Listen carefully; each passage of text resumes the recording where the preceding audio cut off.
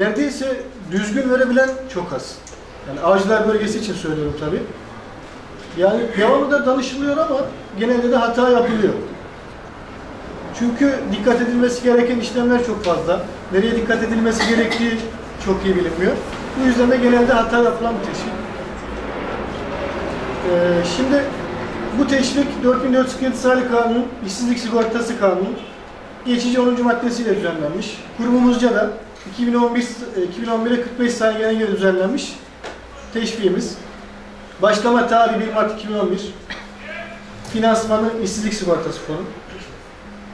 Prim esas kazanç sınırına e, kadar olmak üzere tahakkuk eden primlerin işveren hissesine düşen payın tamamı yani e, tabi %20.5 işveren hissesi ama bunun direkt 5 puanlığı kesiliyor. Geriye %15.5'i kalıyor. %15.5'in tamamının karşılandığı bir teşvik bu arkadaşlar. Mesela bir örnek verelim. Ee, tabii en fazla sorunun yaşandığı ortalama bulma sorunu. 404 Kredi Sağlık Kanunu geçici 10. maddesine göre sigortalılar yönünden aranılan şartlara sahip olan B sigortalısının K Limited şirketine ait kırtasiye malzemeleri satışı faaliyet konulu iş yerinde 20 Mart 2011 tarihinde işe alındığı ve bahsi konu iş yerinin son 6 aylık döneminde.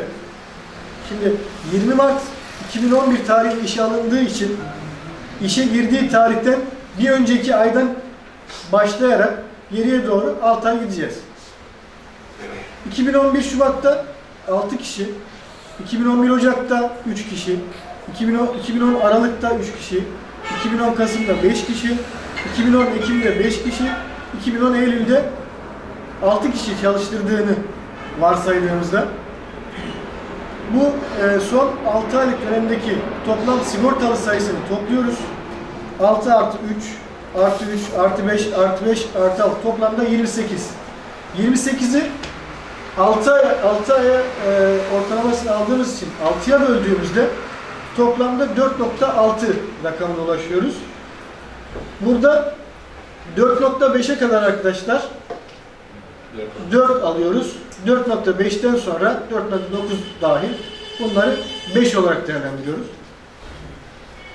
Burada 5 olarak ortalamamızı bulduğumuzda bu teşvikten işverenler takip eden aylarda veya işe girdiği ayda 5'in üzerinde işçi çalıştırılan aylarda yararlanabilecekler. Yani eğer kişinin işe alındığı dönemde sadece 5 kişi varsa kendisiyle beraber bu durumda ortalamanın üzerine çıkılamadığı için o ay o teşvikten o kişinin şartları uysa bile yararlanamayacaktır.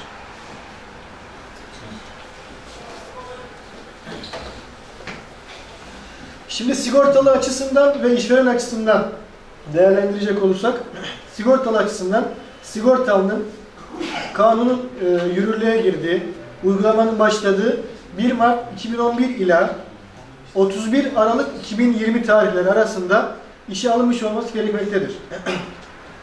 Tabi bu kanun teşvik ilk çıktığı zaman 31 Aralık 2015 tarihine kadar öngörülmüştü. Daha sonra tabi düzenleme yetkisi, uzatma yetkisi Bakanlar Kurulu'na verildiği için Bakanlar Kurulu da bu yetkisini kullanarak teşviği 5 yıl daha 31 Aralık 2020 tarihine kadar uzattı. Yine bir örneğimize bakacak olursak 25 Şubat 2011 tarihinde işe bir sigortalı 1 Mart 2011 tarihinden önce işe alındığı için bu teşvikten yararlanamayacak. Ama 1 Mart 2011 tarihinden sonra işe alınan 17 4 2015 tarihinde işe alınan sigortalı ise bu teşvikten yararlanabilecektir. İkinci şart sigortalının 18 yaşından büyük olması gerekmektedir. Yani 18 yaşını mutlaka doldurmuş olacak. Gün alması yetmiyor. Tamamen doldurmuş olması gerekmektedir. Sigortalı açısından yine e, diğer bir şartımız sigortalının işe başladığı tarihten önceki 6 aylık dönemde kurumumuza verilmiş olan aylık prim mezet belgelerinde kayıt olmaması gerekmektedir. Yani burada bir nevi son 6 aylık dönemde işsiz olan kişiyi almaya yönelik bir teşvik. Eğer kişi işten çıktıktan sonra 4 ay sonra 5 ay sonra bir iş yerine başvuruyorsa ve 6111 sayılı kanundan yararlanmak istiyorsak bu kişinin sigortalı yönünden şartları yerine getirmemişiz demektir. Sigortalı açısından diğer bir şartımız da işe başladığı tarihten önceki 6 aylık dönemde bunu biraz önce zaten söylemiştik. Burada bir detayımız var. Ee, aday çırak, çırak veya işletmelerde mesleki eğitim görmesi nedeniyle yani 7 koduyla ve 42 koduyla belge türü e, seçilmek suretiyle kurumuza gönderilen kişiler bu teşvikten yararlanamaz. Yine aynı şekilde meslek liselerinde okumaktayken veya yüksek öğrenimleri sırasında staja tabi tutulmaları nedeniyle 2547 e, sayılı Yüksek Öğretim Kanunu 48. maddesine tabi olarak kısmi zamanlı çalıştırmaları ve aylık prime, prime esas kazanç tutarının 82. maddeye göre belirlenen günlük prim esas kazanç alt sınırının 30 katından fazla olmaması nedeniyle 22 veya 43 doğru belgelerde yine aynı şekilde Türkiye İş Kurumunca düzenlenen kurslara katılmış ve 25 ve 44 nolu belgelerle kurumumuza bildirilen sigortalılarda e, son 6 aylık dönemde çalışması olmamış şekilde muamele yapılır. Yani oradaki çalışmaları son 6 aylık dönemde aylık prim rezerv belgelerinde gösterilmiş olarak kabul etmiyoruz. Sistemde bu şekilde kabul etmiyorlar.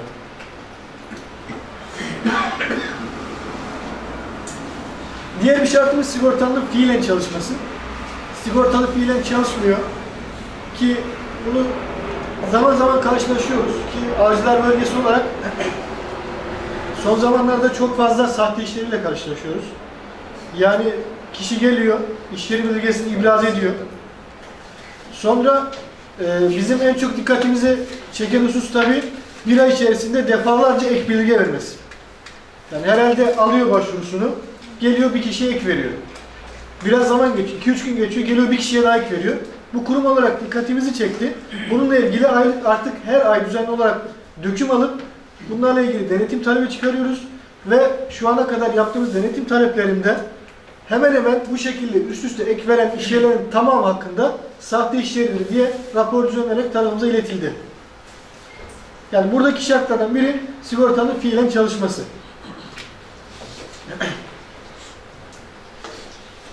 Bu teşvikten sigortanın fiilen çalıştığı sürelerde yararlandırılır. Sahte işleri olduğu zaten olmaz. Ama bazı işlerde oluyor ki yani sigortalıların tamamı sahte değil. Ama aradan sahte şekilde gösterilenler var. Yani fiilen çalışması olmadığı halde hani nasıl diyeyim tanıdığı oluyor. Ahbap çavuş ilişkisi mi denir? Ne denir? Onun ilgisi işte dışarıdan paramı vereyim sen beni buradan göster gibi oluyor. Bu tür şeyler tespit edildiği zaman bunların zaten teşvikleri iptal ediliyor. İşveren açısından e, şartlara geçecek olursak, burada birinci ve en önemli şart aslında özel sektör işvereni olmak. Burada kamu idareleri, e, 5335 sayılı kanun 30. maddesindeki iş yerleri, 4734 sayılı kanuna istinaden ihaleye girmiş ve kazanmış e, ve o işlerde çalıştırdığı sigortaları bildiren iş yerleri veya 4734 sayılı kanunun istisna olan alım ve yapım işleri yani doğrudan temin işlerinde e, bu kişiler bu teşvikten yararlanamazlar. İkincisi sigortalının ortalama sigortalı sayısına ilave olarak çalıştırılması.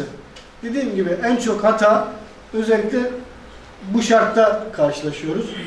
Yani buradaki aslında yapılan hata yani gelen muhasebecilere, mali müşavir arkadaşlara da söylüyoruz. E, bu o kadar hassas bir teşvik ki her ay düzenli olarak iş yerinin takip edilmesi gerekiyor. Girenler, çıkanlar, kaç kişi girmiş, kaç kişi çıkmış, ortalama yani 6111'den faydalanan sigortalar açısından ortalama her ay stabile e, stabilize bir şekilde tutabiliyor mu? O her zaman e, aynı şekilde tutabiliyor mu? Veya üzerine mi çıkıyor? Bunların her zaman her ay düzenli olarak kontrol edilmesi gerekiyor. yani gelen mali müşavir arkadaşlar oluyor. Konuşmalarımızda şey diyor. Ya bu şekilde olduğunu aslında biliyoruz ama böyle olduğu zaman bizim çok fazla dosyaya bakıyoruz. Bu kadar zamanımız yok. Her ay yani her iş yerini takip etmeye kalksam, bunlara bu kadar zaman ayırmaya kalksam gerçekten zamanım kalmıyor gibi serzenişler duyuyoruz. Ama haklılar. Çünkü yani kaç tane artık dosyaya bakıyor bilmiyoruz ama hangisini yaralandırıyorsa 6110 misal teşvikten her ay onları düzenli olarak takip etmek zorunda. gelecek aylarda kaç tane çıkılmış, kaç tane çıkmış bunları düzenli bir şekilde her ay düzenli olarak kontrol edilmesi gerekiyor. Şimdi burada biraz önce anlattık ama e, ortalama sayısına ilave olarak çalıştırılması durumu e, dediğimiz gibi sigortalının işe giriş tarihinden itibaren bir önceki aydan başlıyoruz. Biraz önce anlattığımız örnekte olduğu gibi 6 ay geriye gidiyoruz. Hatta örneğe dönelim. Burada 6 ay geriye döndüğümüzde toplam sigortalı sayısını buluyoruz. Son 6 ayda bunu 6'ya bölüyoruz.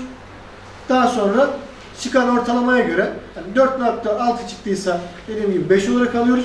4.4 çıktıysa yani 4.5'in altında çıksa küsürlerde bunu altındaki rakama alıyoruz.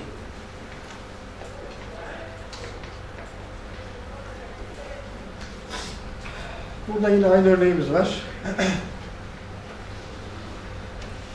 yine bir örneğimiz, farklı bir örneğimiz. 17 Nisan 2015 tarih itibariyle işe alınan sigortalının ortalama sigortalı sayısının 5 olduğu e, sigortalı B ile birlikte çalışan toplam sigorta sayısının 2015 Nisan ayında 5, Mayıs ayında 6, Haziran ayında 4, Temmuz ayında 7 olduğu varsayıldığında gördüğünüz gibi 5'in üzerinde olduğu Mayıs ve Temmuz aylarında teşvikten yararlanabilecek. 5'in 5'te aynı olduğu yani 5 olduğu ve 5'in altında olduğu Nisan ve Haziran aylarında bu teşvikten faydalanamayacak. Yine başka bir örneğimiz var. Ortalama sigortalı sayısının tespitine e, esas olarak 6 aylık sürede gerek iş yerinin yeni teşkil edilmiş olması, gerekse sigortalı çalışma ara verilmiş olması durumunda da arkadaşlar eğer zaten iş yeri kanun kapsamına ilk defa alınıyorsa kaç kişi bildirirse bildirsin bu kişilerin sigortalılık yönünden de şartları uyuyorsa o sigortaların tamamı ortalama şartına takılmaksızın faydalanabilecekler. Burada herhangi bir sorun olmayacak. Veya son 6 aylık dönemde ara vermiştir iş yeri. O 6 aylık dönemde de ortalama sıfır olarak alınacağından, sıfır kabul edileceğinden sonradan aldığı işçilerin tamamı sigortalı şartları da uyuyorsa bu teşvikten faydalanabilecektir. Yine 5510 sayılı kanunda olduğu gibi